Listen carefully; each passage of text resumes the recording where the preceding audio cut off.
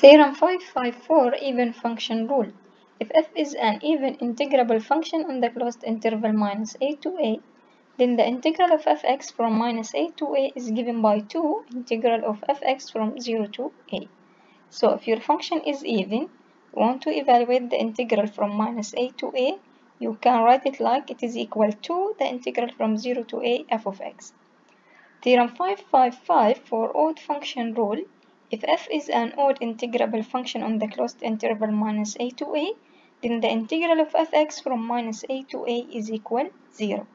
So if your function is odd, the integral from minus a to a of this function will be 0. We'll explain, this one by these two graphs. So a we have even function from minus a to 0 is the integral of this function and from 0 to a is this the integral of this function f of x. We see that the right integral which is from 0 to a is the same as the integral from minus a to 0.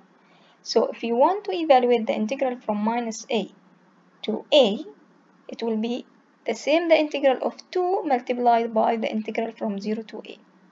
ليش؟ لأن المساحة الانتجرال هنا يمثل المساحة في الحالة فلما أنا أخذ from minus a to a هي نفسها لما أخذ اثنين وأضربها في الانتجرال from 0 to a.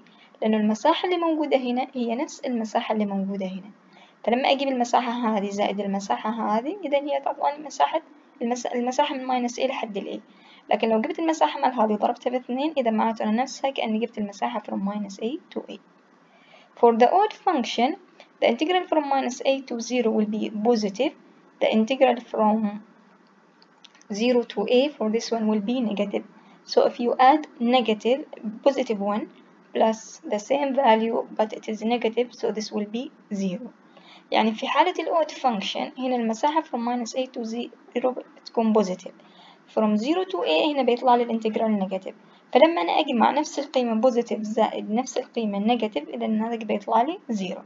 إذا لو كانت عندي even function integral from minus a لحد ال a بيكون اثنين في الانتجرال from 0 to a لو كان دي الفانكشن odd integral from minus a to a الناتج دايما بيعطيني 0 Let us see an example which is example number 10 evaluate the integral of x power 4 plus x squared where x from minus 1 to 1 If you look for this one, we see that x power 4 is an even function. Also, x squared will be even function. So x power 4 plus x squared will be an even function. And we want to evaluate the integral from minus 1 to 1. We know that the rule for an even function will be the integral from minus a to a of f will be the 2 multiplied by the integral from 0 to a. So this will give us the integral of uh, x power 4 plus x squared from minus 1 to 1 will be equal to the integral from 0 to 1 of x power 4 plus x squared. So now the integral of x power 4 will be x power 5 over 5 plus the integral of x squared will be 1 over 3 x power 3. We need to evaluate the integral from 0 to 1. So replacing x by 1 will get 1 over 5 plus 1 over 3 multiplied by 1 so 1 over 3. When x is equal to 0 both of these are 0 so it will be 2 multiplied by 1 over 5 plus 1 over 3 which is equal 16 over 5 you will say that okay we can also evaluate the integral is equal the integral of this one. X power 5 over 5 plus integral of x square will be x power 3 over 3 we evaluate the integral from minus 1 to 1 okay you can do it like that or you can use the even integral rule.